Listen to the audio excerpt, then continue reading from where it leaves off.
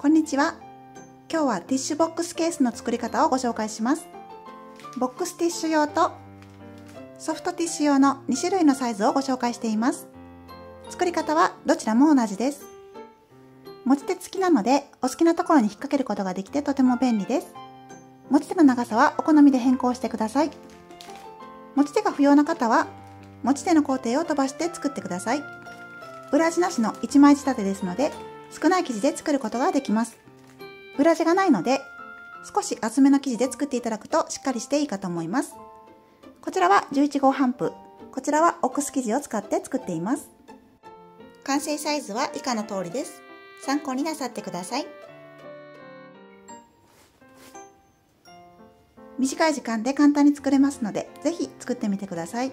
ボックスティッシュ用の材料です。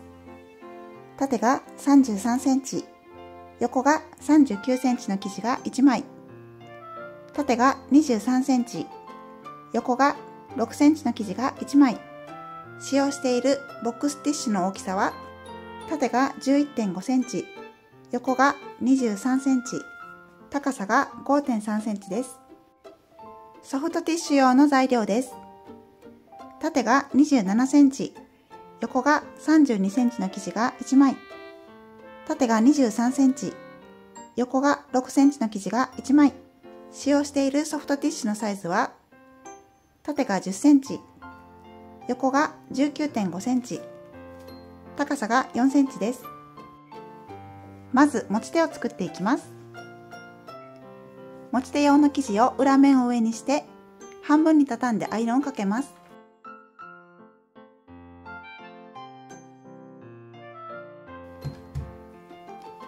一度開いてこのアイロンの線に合わせてさらに半分に折ります。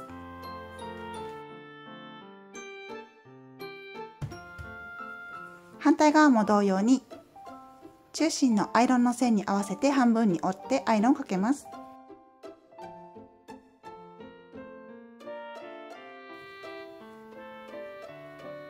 アイロンの線で折った状態でさらに半分に畳んで待ち針で留めます。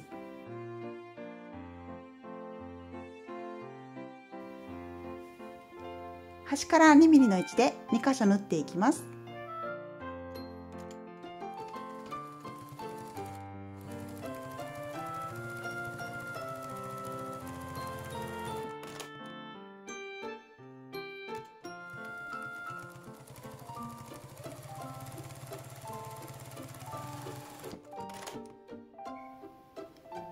から 2mm の位置で2箇所縫っていきました。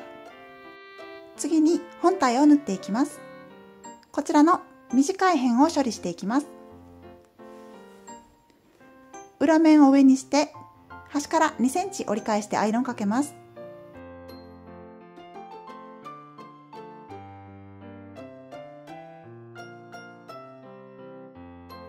一度開いて今度は端から1センチ折り返してアイロンかけます。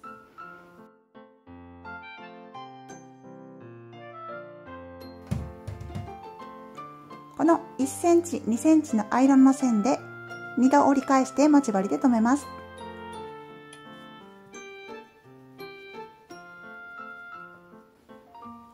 反対側の短い辺も同じように処理していきます。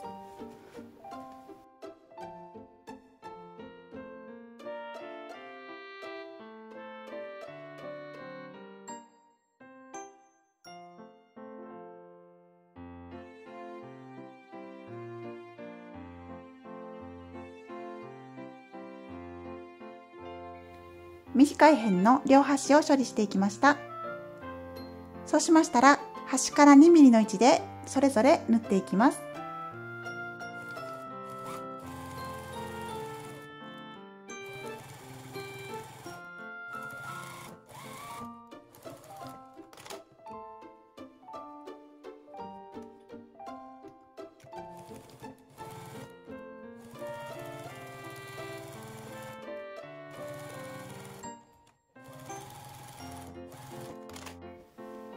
両端を縫っていきました。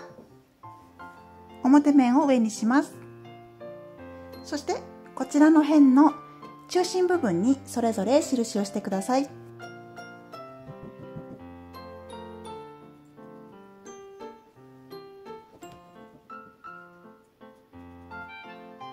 そして片方に持ち手用の印をします。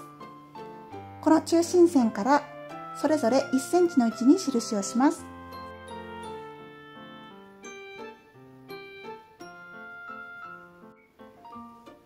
この持ち手用の印の外側に持ち手を仮止めします。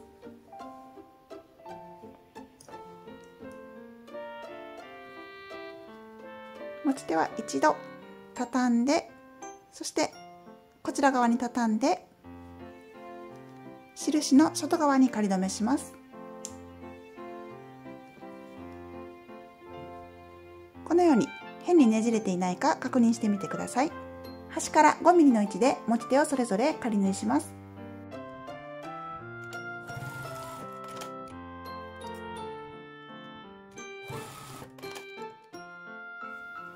持ち手を仮縫いしていきました。次にこの中心線の印に合わせてこちらとこちらを折りたたみます。その際にこちらの中心部分とこの中心線がきれいに重なるようにして置いてください。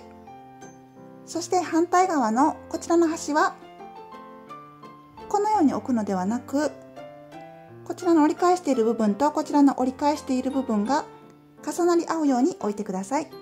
そしてクリップで固定します。待ち針も留めておきます。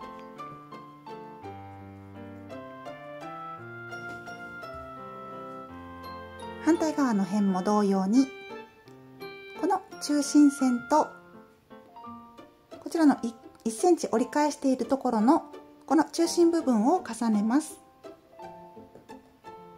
そしてこちらとこちらを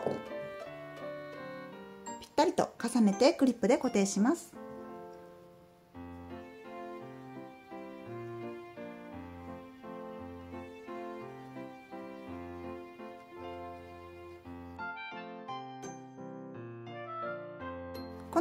重なり合うようになっています。1センチずつ重ね合わせることでティッシュが飛び出しにくいようになっています。端から1センチで縫っていきます。さらにジグザグミシンをかけていきます。ジグザグミシンをお持ちでない方はジグザグミシンはなしでも大丈夫です。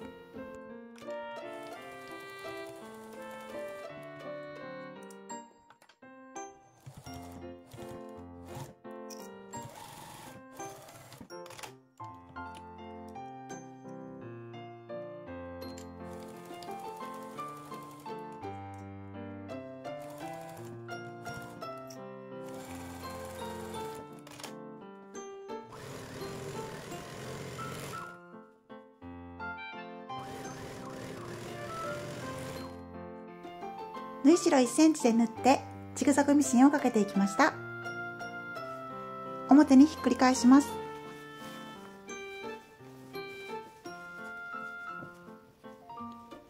完成です。中にティッシュを入れてみます。